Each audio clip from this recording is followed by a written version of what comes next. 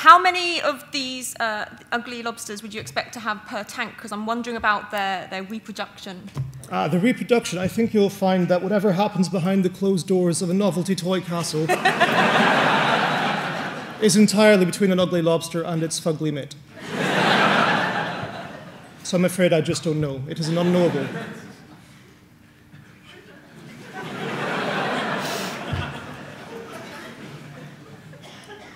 Is anyone from the floor?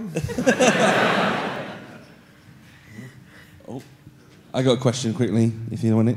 Um, question for you: Should we preferentially eat species that are very intelligent?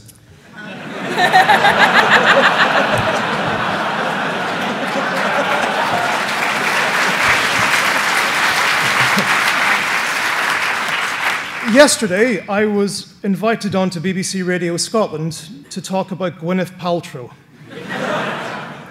because she is no longer eating octopus because she thinks they have more neurons than human brains. I think we should get intelligence enough not to listen to celebrity diets.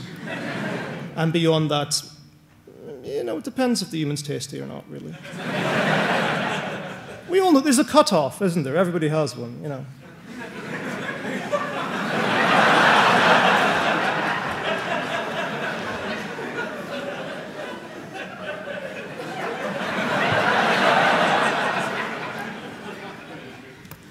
Can I go now?